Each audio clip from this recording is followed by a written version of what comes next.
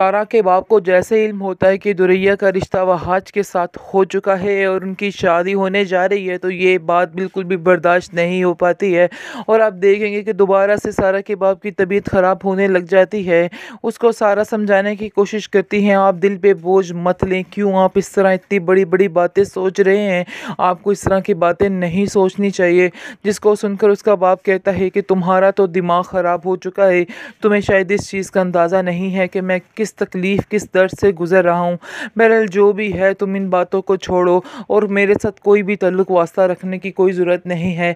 अब देखेंगे कि सारा बहुत ज़्यादा रोती और अपने बाप से माफ़ी मांगती है और कहती है कि मैं उस गुनाह की माफ़ी मांग रही हूँ, जो गुनाह मैंने नहीं किया है, जिस पर वो कहता है कि सारी दुनिया तो यही जानती है कि तुमने ये सारा कुछ किया है।